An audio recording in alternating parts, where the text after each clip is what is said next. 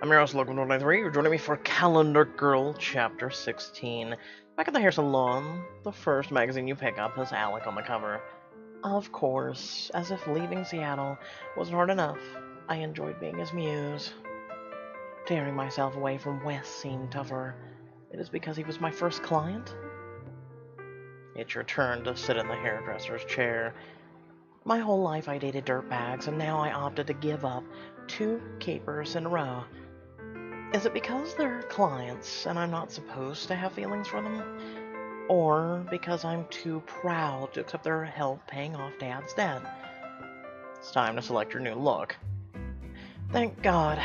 Maybe it'll take my mind off my weird situation. In before. Oh my god, did you see how, you know, chapters took choices hairstyles? What's that? No? Okay.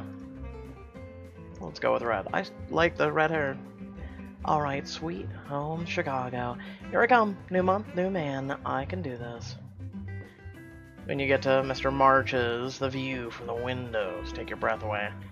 The elevator to this penthouse took so long, it could have been an amusement park ride. But won't you enjoy the way down? oh my god, am I ornery? You look around the bedroom, on top of the world, and poke your nose into the closet.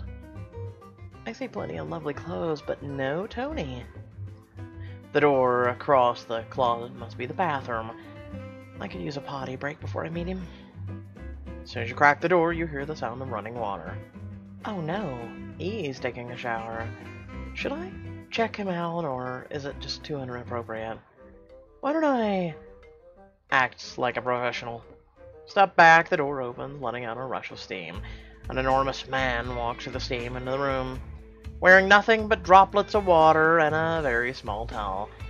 Your mouth goes dry and your heart may have skipped a beat. If I die right now, it won't be so bad, because I have finally seen perfection. Anthony, Tony, was gorgeous in pictures, but live and in person? Holy moly. Every massive muscled inch was sculpted by the gods. Papa Mia's here. Wait, who's he calling Papi? Another nearly naked man comes out of the bathroom. This one is also as toned and chiseled, but more androgynous. He seems small, but he's actually between Wes and Alec in size. Next to Tony, the man mountain, he looks small. He slips his arm around Tony. Oh, okay. Now I know you why you need me.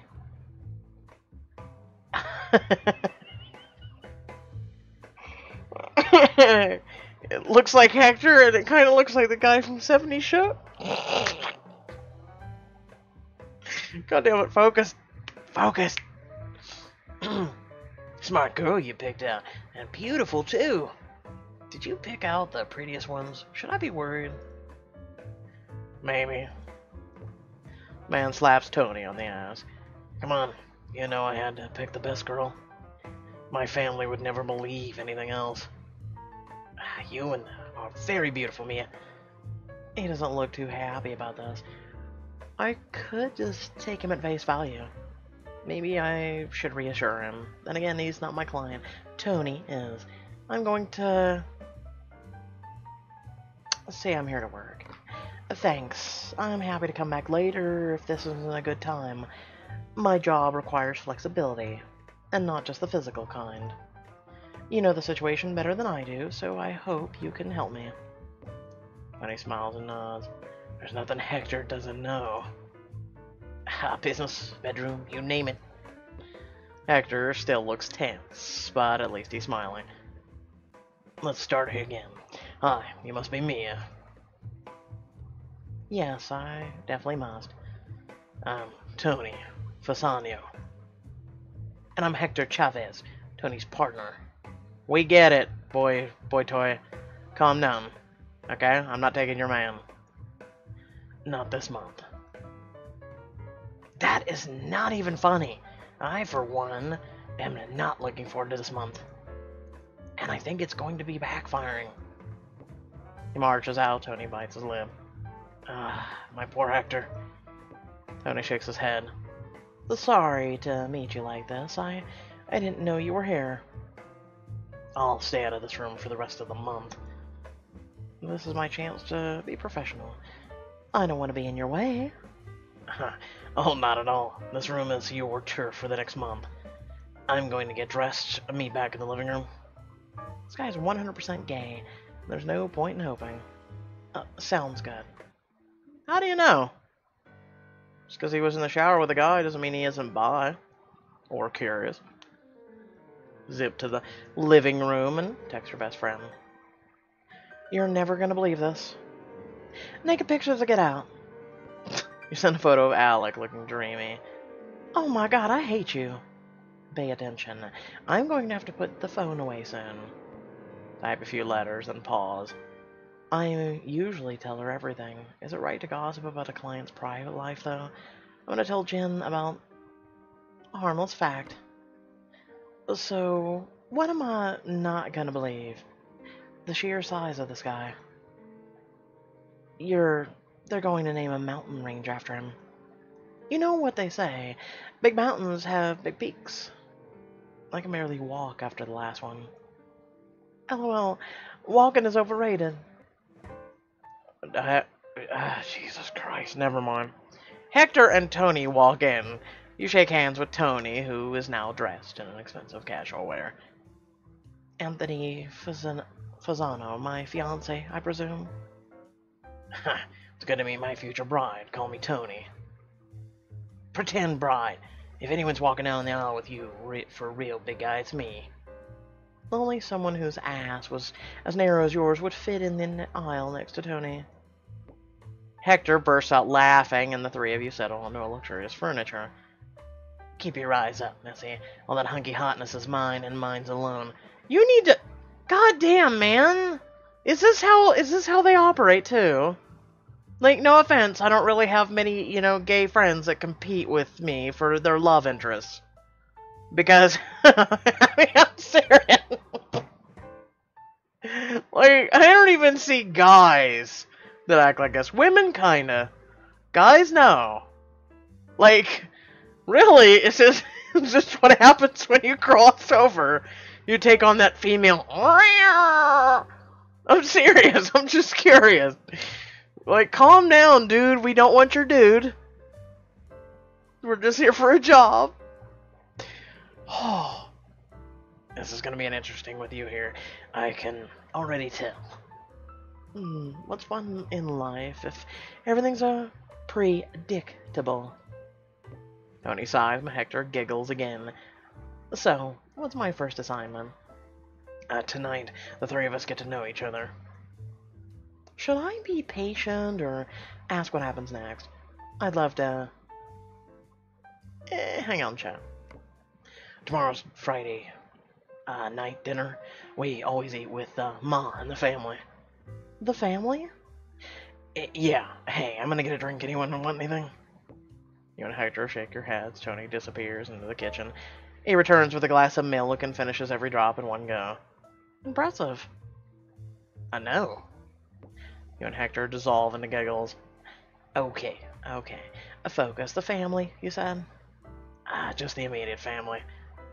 Oh, of a thousand siblings and children and cousins and no big deal. You want me to fool the entire family into believing I'm his fiancée? Yep, that's the idea. But that part after you meet Ma, if you survive. Guys, it's impossible. There's no way I could pull this off. Nah, you've already got this. I can already tell. And what makes you say that? You're gorgeous, down to earth, and you got a bit of an edge. My family will love it. You're exactly the kind of person he would have picked. If he were wired for my kind of electricity. right. Just be yourself. Just like that. I'm still not sure this is a good idea. I'm not either, but I want what he wants. And I took the job. Stock shop. I needed to pick your brains to get in a character. We're gonna need a truckload of wine for this. Two hours later, all three of you are tipsy and laughing your asses off. Oh my god, you did not do that. we did, stark ass naked. Ran the entire length of the football field, all wearing helmets. And nothing else. Each of guys had a different letter on his chest. We held still long enough for the visiting team's beachers to see it. Losers suck it. Shortly afterwards, Anthony and I became an item. Well, privately. So, who knows you're a couple? Uh, not many. Papi, please. Hector sighs and leans his head on your shoulder. I feel like a protective older sister. It's a big traditional conservative family. Yeah, about that. Some of them are going to smell a rat, no matter how much I seem to know about you. Are you sure they don't know about you already? They don't know. I've given them no reason to overthink, to think otherwise. You are so obviously a couple. Hector has been a friend, not just to me, but the whole family for so long. They see him as a brother. And a business partner. I'm kind of a genius. You're entirely a genius. Oh, could you two stop it, please? Me, and part of the problem is I only have sisters. And I'm sure the sisters know you're probably swinging from the tree. So, I have a sister too. Yeah, it's more complicated. I am the only son of the founder. Oh. I thought we were leaning into my sisters don't expect a thing, da da da. If I don't have kids, the name dies with me. That's it? That's the big problem? Do they know what year it is? I want them to be happy, and the solution is so simple and obvious. I feel so comfortable with these guys, but should I say what I'm thinking? Or wait until I've known them for more than a day? I'm gonna be subtle. In a... In a what? We're perf... We're effect? I'm confused. Oh, that's because she's drunk. Okay. In a perfect world, I mean, a perfect world, what would you do? Time to cut you off, lightweight. We're all featherweights compared to you. You haven't met my sister. I haven't met anyone. Point is, what do you guys want? Him. I want him. Whatever form that takes. Oh, Hector. I love you so much. So sorry about all this. My work here is done. They don't even notice you. You grin and stagger to your room. This is gonna be great. Just as soon as I meet the family. That's it? That's... I mean... Oh, God damn it. Like I said, I just... One, they made him so overprotective. It was kind of like overbearing. Two, um... I'm serious about that. Are they are they competitive just like females? Females are like, leave my man alone, don't even look at him. oh man, and most guys are just like, you know, they they give the eye, you know. I mean, yeah, there's different types of guys, but eh, most people that I've known don't get all except for women. Um, I can be over. I don't want to say overprotective. I can be protective, but in a sense of I'm going to trust her, regardless. Um, you know, and I, I, I don't want to be that controlling. Where were you? You said you'd be home at nine, and it's nine oh two. That's two minutes too goddamn late. Like, there's some guys out there that I'm sure do actually do that. I'm sure because there's you know plenty of melding pot of peoples, but I, I don't know. I don't know. Um, that just it seemed a little overbearing to me. Um, especially because they've been together for so long, and they've been friends and the whole nine yards. Something also tells me this is going to be very short lived because the sisters sisters typically like women innately have a, a, a bigger sense of you know those things versus oh my god Tony was really gay this whole time. No, like like it matters. And yeah, it's 2018. It doesn't matter really. I mean, it still does if you're like conservative as all shit. And but I, I I've I've I don't know. I hardly hear of it anymore where it's like, oh my god, my son is gay. Oh my god, how dare you be? I don't hear of that much anymore. You know, it's kind of been just accepted now. I don't know. It's kind of cool that way. Um, with that being said, I hope y'all did enjoy the video. Remember to like, share, and subscribe. If you do subscribe, hit that bell. And head down description below, links to social media, our Discord, and a few links to support me and my content. Also, do check out the uh, new book that's up on the channel. Um, I enjoyed it. It's it's something that we don't get to see much of, but the Rake Recluse is actually pretty well done.